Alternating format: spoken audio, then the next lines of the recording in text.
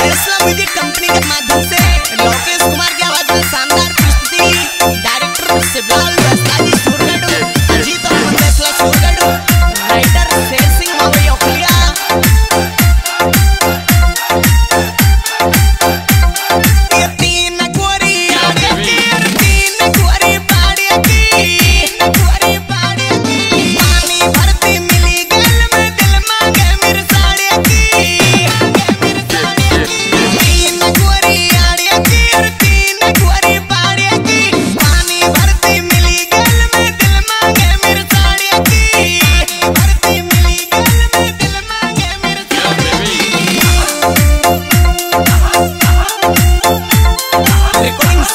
to the